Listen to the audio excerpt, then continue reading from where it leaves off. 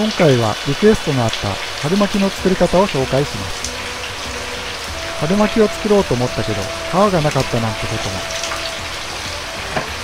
そんな時のために簡単に皮から手作りできる春巻きの作り方を紹介いたします。中の具も炒めて作るものと簡単に炒めることなく作れる方法の2種類を用意しました。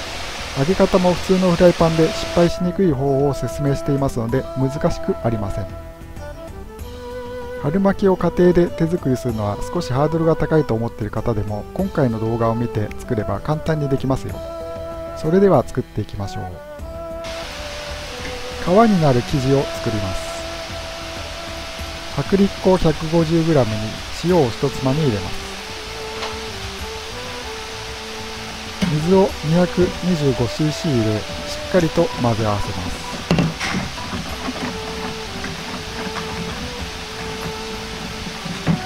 もちろん市販の皮を使って作ってもいいですよ。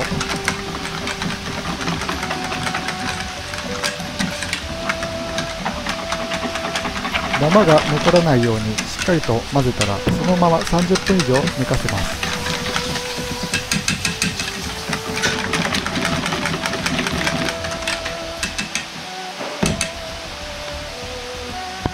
の間に中の具を作ります。まずは炒めないで簡単にできる方を説明します。キャベツを千切りにします。キャベツは葉を重ねて少し丸めるようにすると切りやすいです。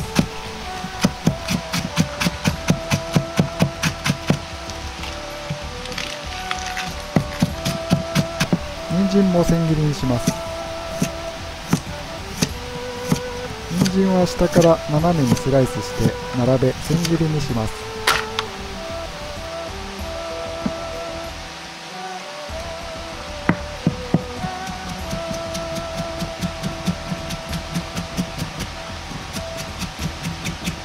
キャベツと人参が切れたら塩を入れてあえておきます。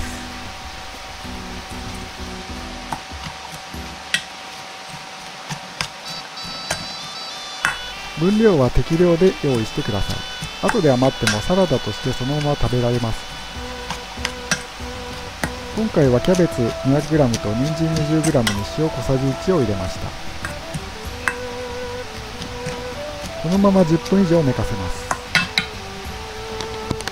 10分したら塩を洗い流します。しっかりと水分を絞っておきます。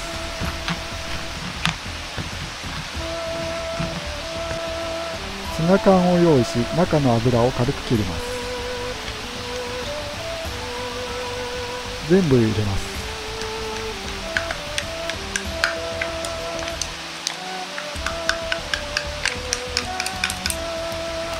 マヨネーズを適量入れます。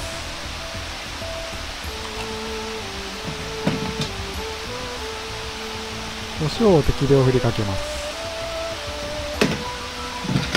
マスタードを少量入れます。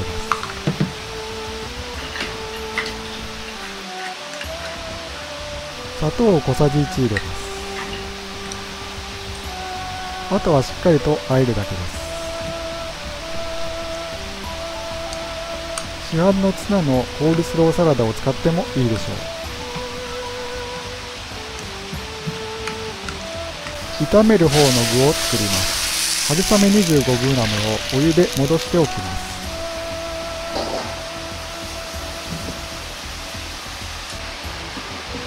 春雨を食べやすいようにハサミでカットしておきます。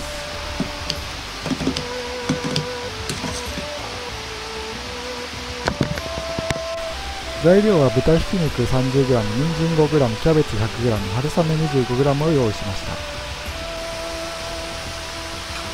鍋に大さじ1の油を入れひき肉を炒めます。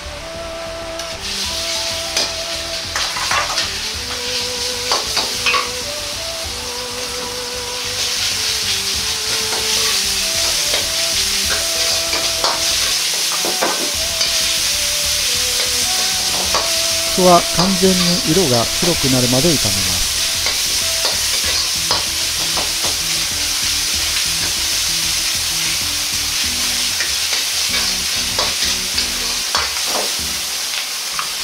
ひき肉が白くなったら生姜を小さじ1入れます。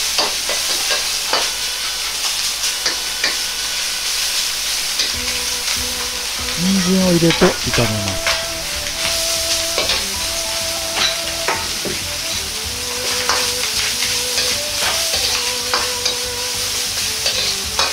キャベツを入れて炒めます。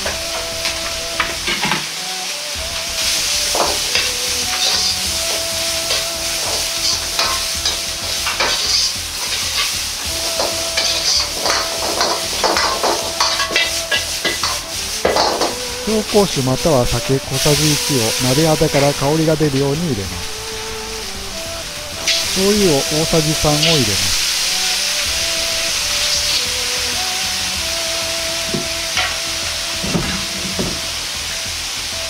水を 250cc から 300cc 入れ戻した春雨も入れていきます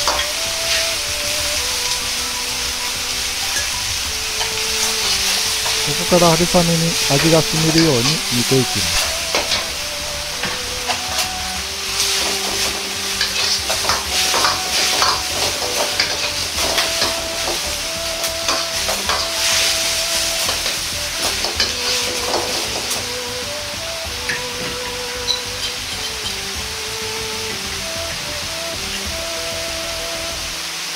砂糖小さじ1と味の素を少量入れます。胡椒を振りかけます。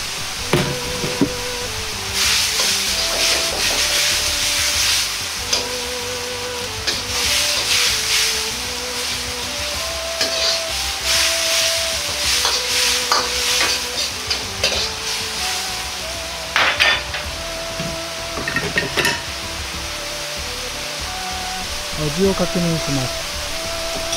春雨と水分が少し多めなので少しだけ濃いめの味でちょうどいいです水溶き片栗粉大さじ2を2回に分けて入れていきます。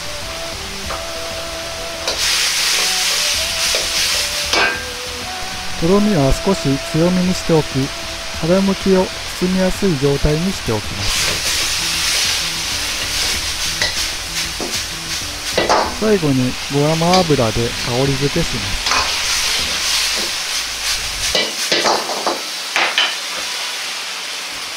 できた具を皿に広げるようにのせて冷まします。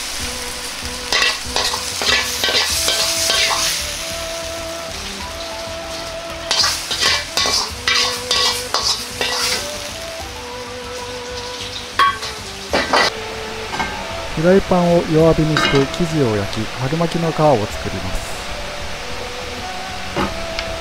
ルンベラやハケなどを使いフライパンの底に生地を薄く広げて塗りつけます。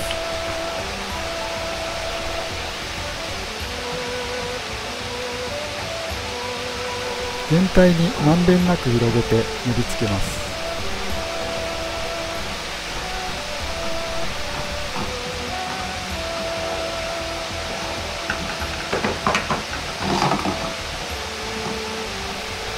全体に塗ることができたら生地が白くなるまで待ちます。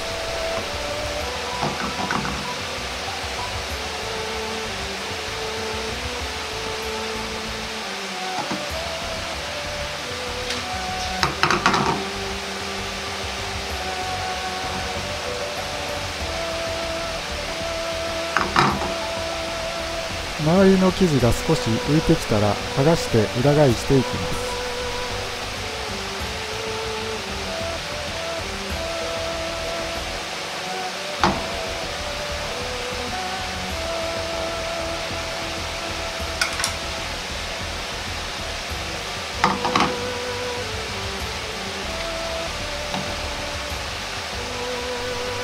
裏面を軽く焼いて皮の出来上がりです。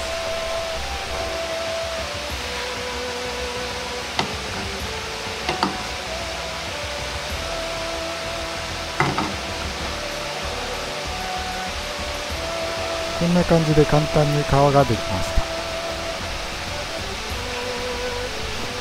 た。あとは繰り返し皮を焼いていくだけです。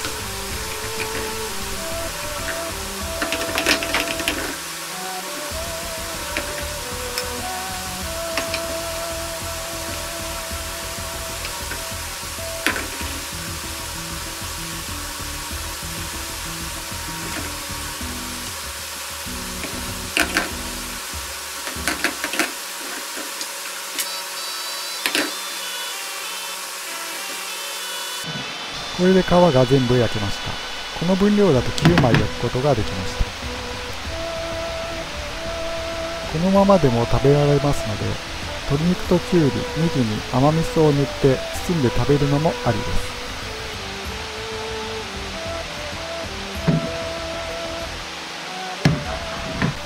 具を包んでいきます。真ん中より少し下に具をのせます。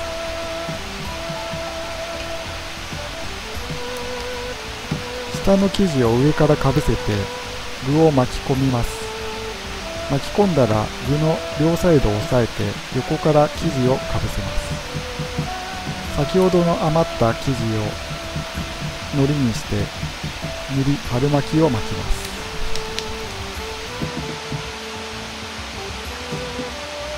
ツナサラダの方も同じように巻いていきます。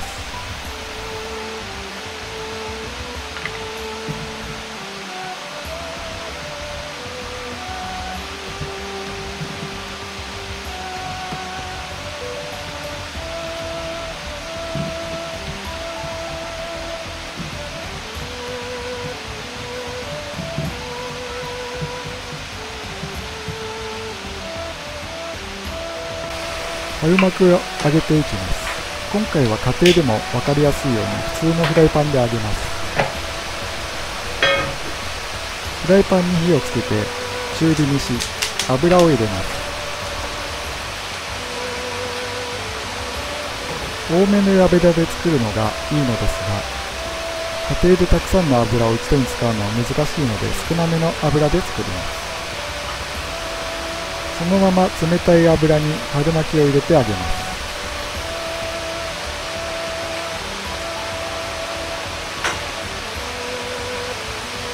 温まった油に入れて揚げるイメージがあると思いますが冷たい油から火を入れることで巻き込んだ皮までしっかりと揚がりサクサクになります。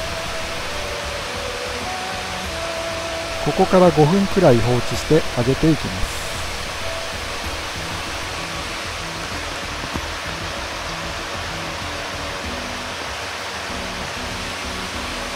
春巻きが半分ぐらい浸かる量の油があれば十分です。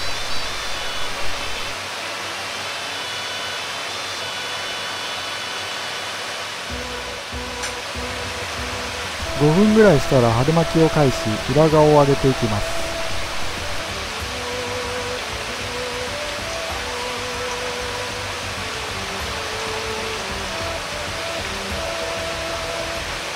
ここからさらに5分そのまま揚げていきます。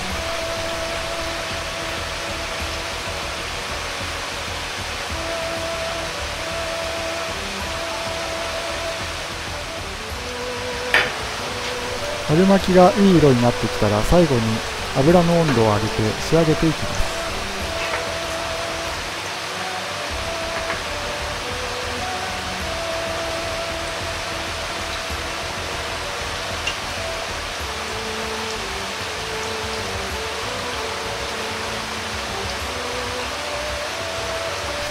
こんがりとした色になったら油から取り出します。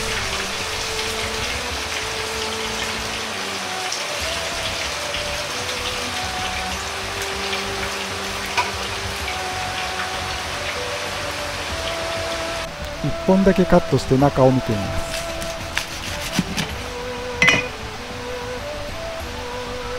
こんな感じに出来上がりました。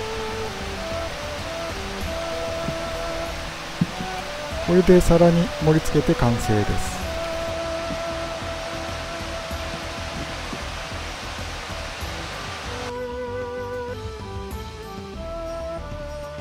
今回は皮から作る春巻きの作り方を紹介しました。春巻きの皮はいろいろな作り方がありますがこの方法が一番簡単で誰でも作ることができると思います。だから買い忘れてしまった時などには手作りしてみてはいかがでしょうか。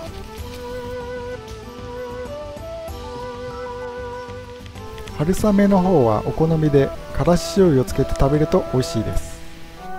ツナサラダの方はケチャップをつけて食べると美味しいです。これならお子様にも喜んでもらえるのではないでしょうか。このチャンネルでは簡単なまかない料理や本格的な中華料理を紹介しています。よかったら高評価とチャンネル登録をお願いします。リクエストなどがありましたらコメント欄にお願いします。それでは失礼いたします。